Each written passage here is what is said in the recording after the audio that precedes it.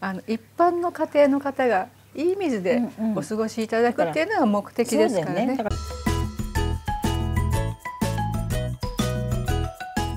世界最先端グルメ雑穀料理対談。食卓からの私革新そして日本再生未来食を提案して40年の大谷由美子です今日も先週に引き続き4週目です。ね家丸ごと浄水器を世に出して32年。株式会社メープルリンク代表の鈴木文子さん。今日もようこそ。あ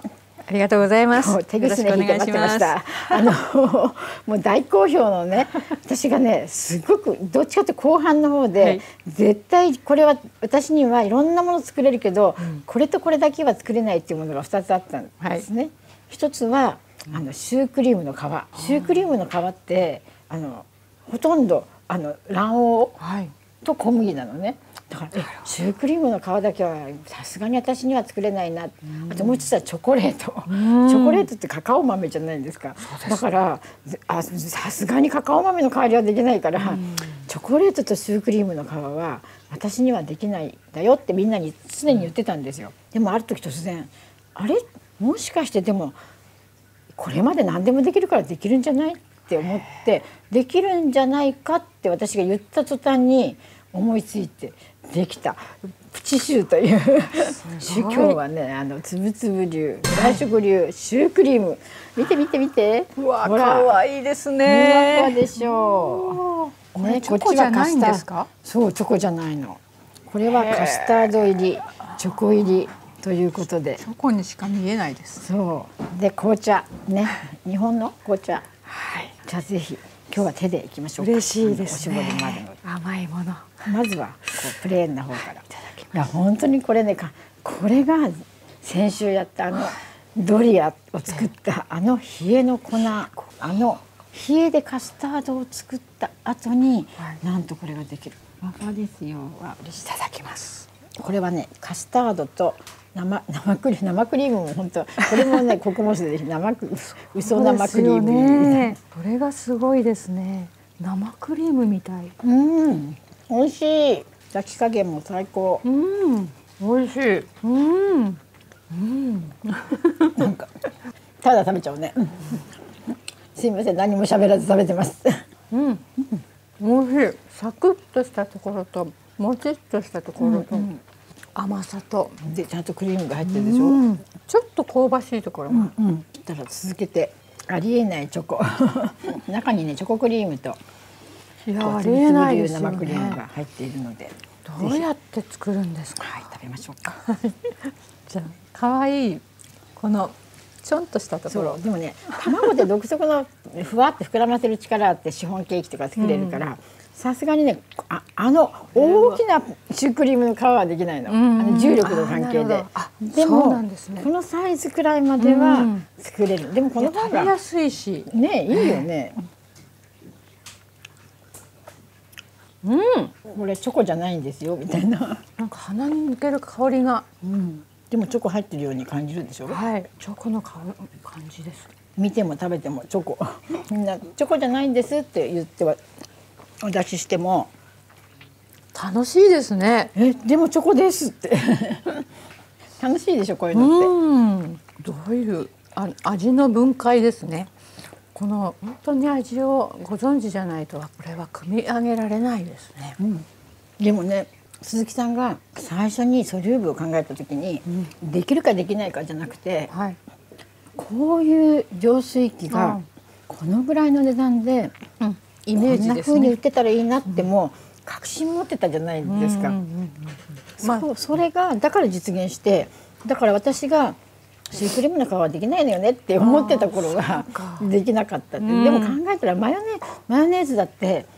卵、うん、ほとんど卵の黄身で作るじゃないですかそうすると、はいはい、それなのに、まあ、マヨネーズができてシュークリームができないってなぜ思ったのかしらみたいなことを思って、うん、ふと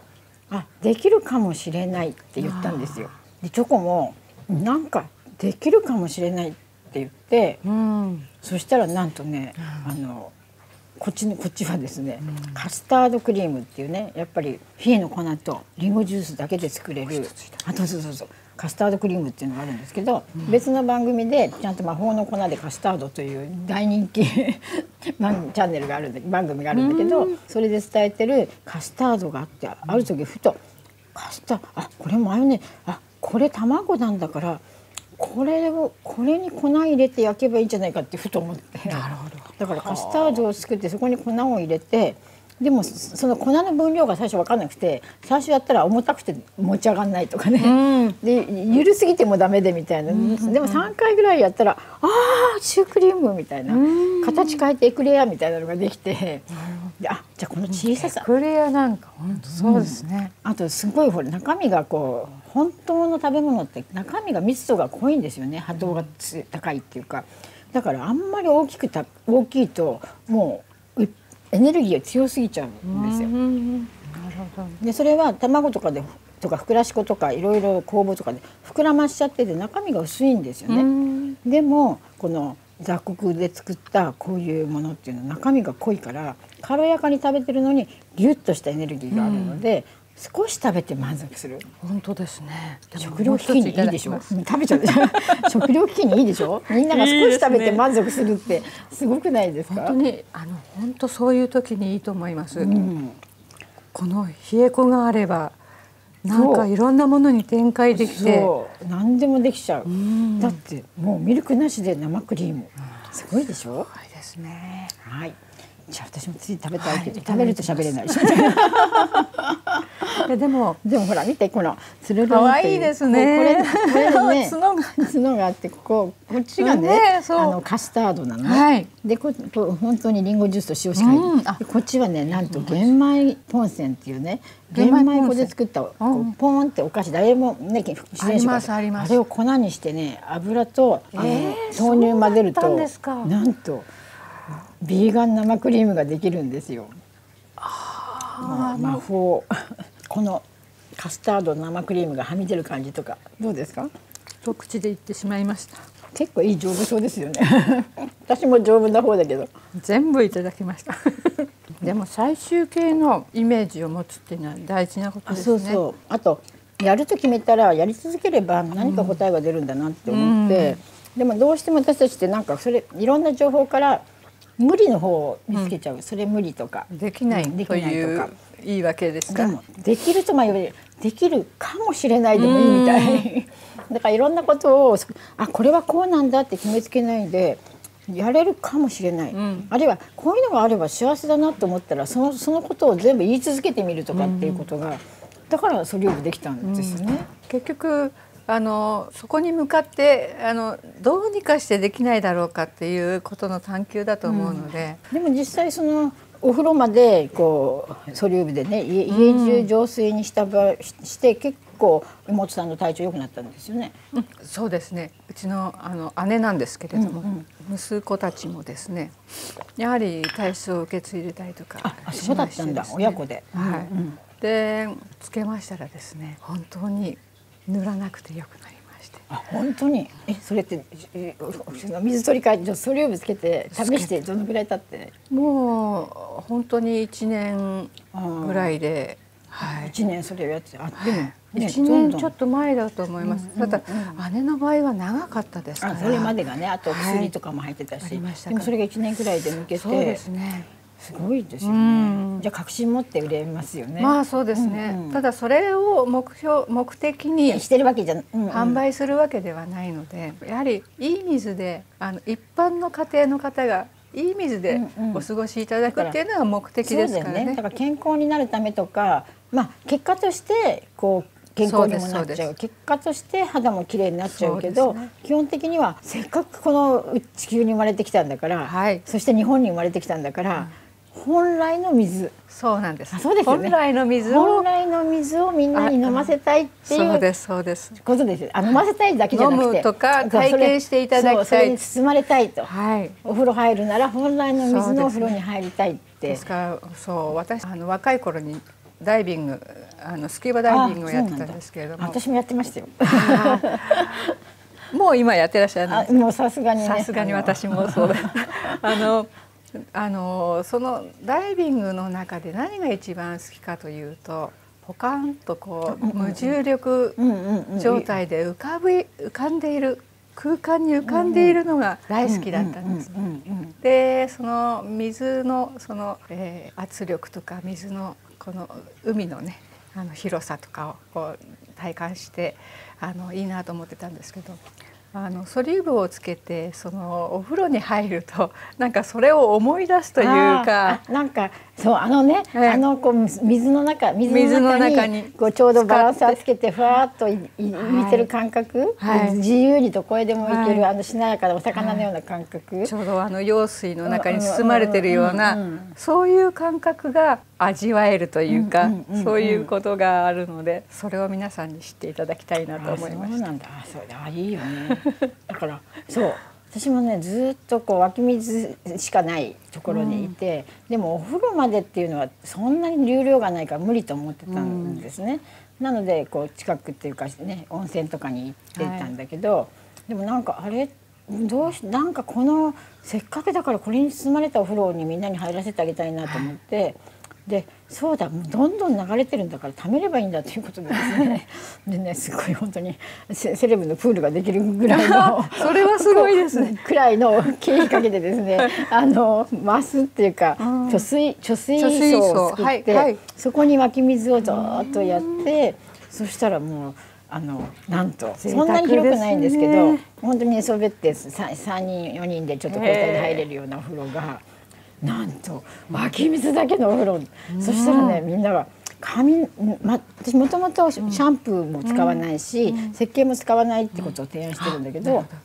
なんかお湯で洗っただけなのに、髪がすっごいツヤツヤするとか、あ体がすごい綺麗になるとか、はい、あなんかツヤツヤとかっていうふうになって。なんかねだからもうふわってこういるだけでなんか なんかこれはずっと思い巡らしちゃうんですね。これがずっとこの地球中の中のね、うん、雨になってあれになって水蒸気になってもしってそこをずっとくぐり抜けてくぐり抜けてくぐり抜けてあそこに入ってそしてここにって思うとうなんか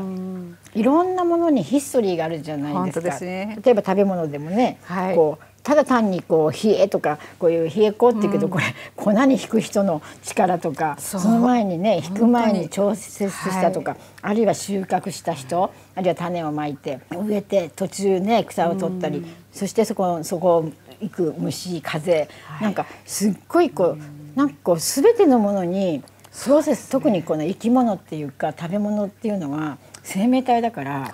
そのいろんな人のエネルギーを受け取った、はいなんていうの、うん、想像の波動の喜びの波動みたいなヒストリーが、ね、一個一個の粉一つこうねお茶一つ水あらゆるもの水光、はい、あそういうのがついてるからなんかそれまでのなんかものをねただこれって思うんじゃなくて、うん、これにずるずるずるずるっとこうもうずっと寄り添って寄り添ってこれを存在させている、うん、何かこう見えないそれこそウェーブっていうのをね、はいなんか感じる人に私はこの料理を始めてから。そうですね、うん、なんかそういうなんだろう理屈じゃないんですね。理屈じゃなくものをものもの以上のエネルギーの連鎖として見たり、うん、そのプロセスだで行われたであろう何か豊か豊かさみたいなのがここにもうすでにあるみたいな、すごく詰まっていると思います、ね、気持ちになってすごく嬉しいんだけど、うん、なんか。本当にね水と、私は穀物、はい、塩だけど、まあ水塩が取り相乗効果が上がってるんじゃないでも本当にね思ってることとかやってることとか、あと企画者で、ね本当に必ずしで泳げないんですよ。でなんで泳げないかっていうとね息継ぎがでもう水に顔つけただけでもううーってなっちゃう人だったんですね。でそれがでもこれじゃ一生つまらないから思い切って酸素ボンベしょって入れば息継ぎできなくてもいいんじゃないかという安易な考えで始めてでもそしたら本当に今まで見ない世界を見たり。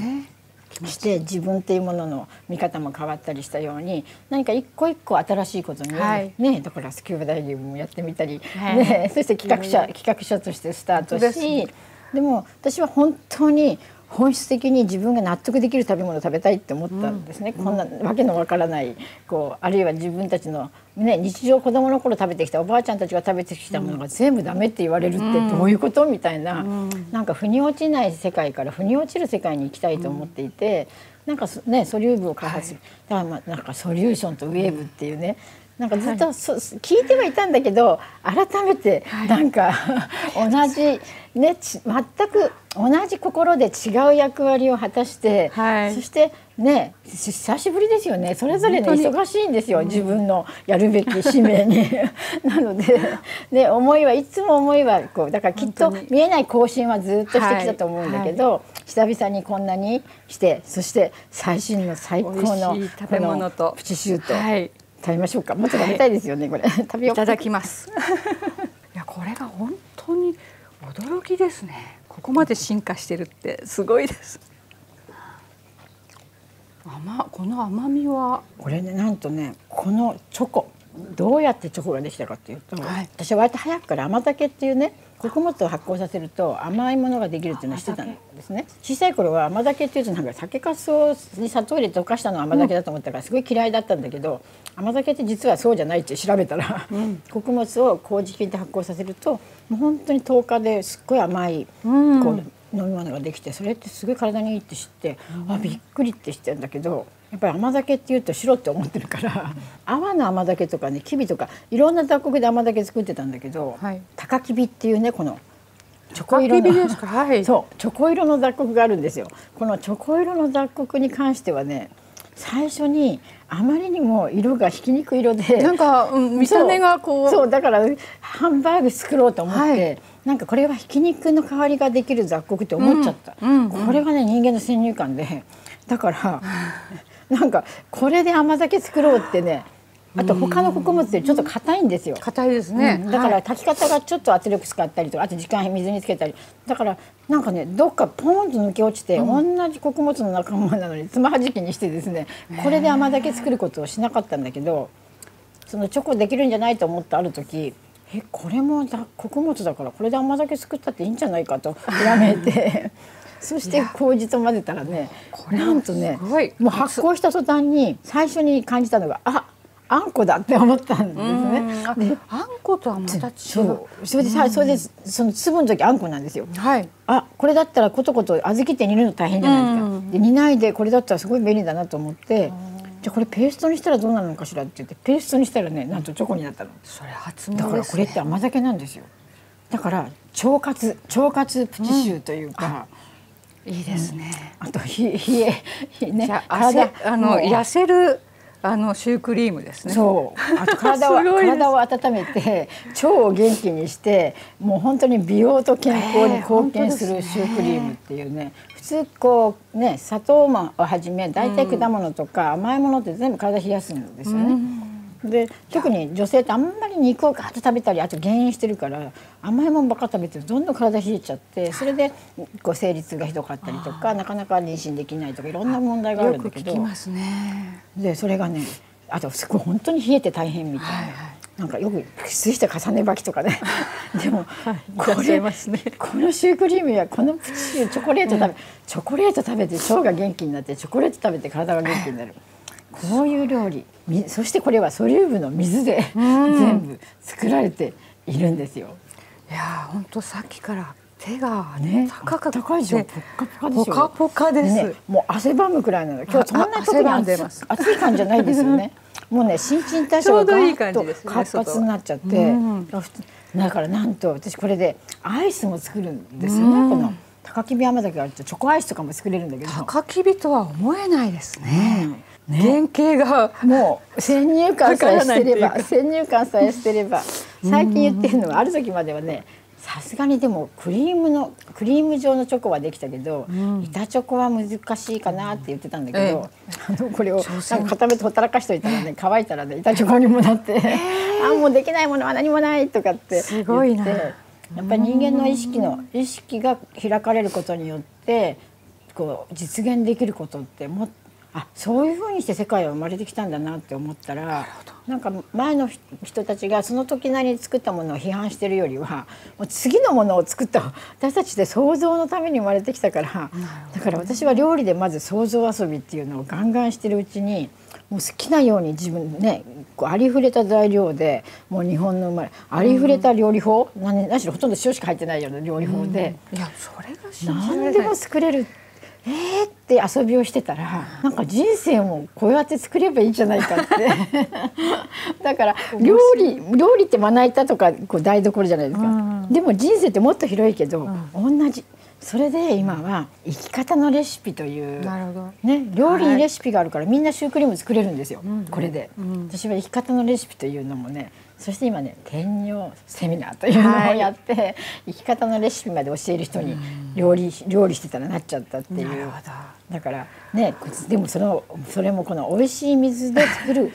このね甘酒美味しい水で作るカスタードがあるからこれがだからこのカスタードクリームとこの外の皮って同じ材料でできてるんですよ。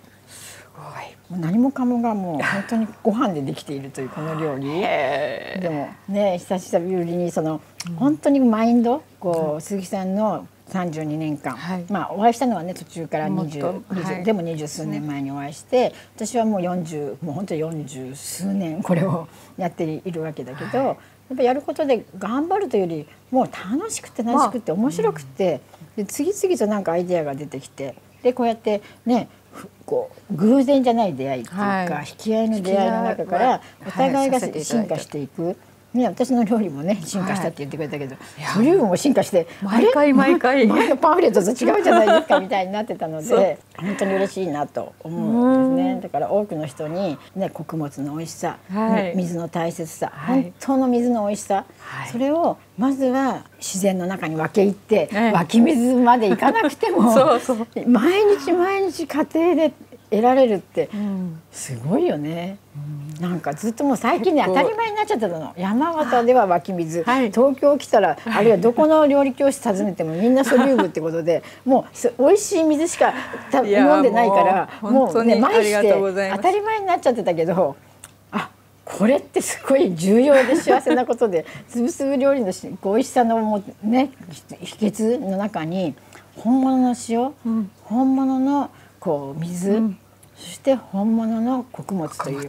だからあれこれ全部よくしなくてももう何しろ量の多い穀物と塩と水をいいものにした。の神器です、ね、そう。この3種類をよくすればあとは 結構いい加減でも大丈夫と。頻度多くたくさん食べるものの質を良くするってとこからやっていけば小さなねちょっとカレー粉もオーガニックにしようとか思わなくてもそのねいいまあ、そしたらもっとおおらかにおおらかに、ね、本当、あのかカチカチに固まった頭で考えなくてもいいと思うんです、ね、そうそうそう。だからもう本当に重要ポイントさえ押さえたら伸びやかにできる、はい、でも土台なしに伸びやかにやると、ね、グラグラの家とかになっちゃうけど土台がしっかりしていれば、ええ、ねちょっとこうきちっと型ができて、はい、そしたらそこにねちょっとした棚作ったりしてもいくらでもでき遊びができるけど、うん、土台が揺らんでいるところに何か作ると、ね、もういつもいつもおっとっとっとみたいになっちゃうので。基本がないと、ね、そういう意味で命の土台を作る水と塩と穀物、はい、そして光と風、これをね皆さんにねぜひねそんな話もね、はい、今度私が出しているはい、あの J バットを通じて出している6万部も今出てるんですけど、うん、期間つぶつぶで水のお話をね、はい、ぜひ連載したいと思うのでよろしくお願いします。よろしくお願いいたします。もう4回楽しかった。本当に私もありがとうございました。ありがとうございました。楽しかったです。これからありがとうございます。始まります。よろしくお願いします。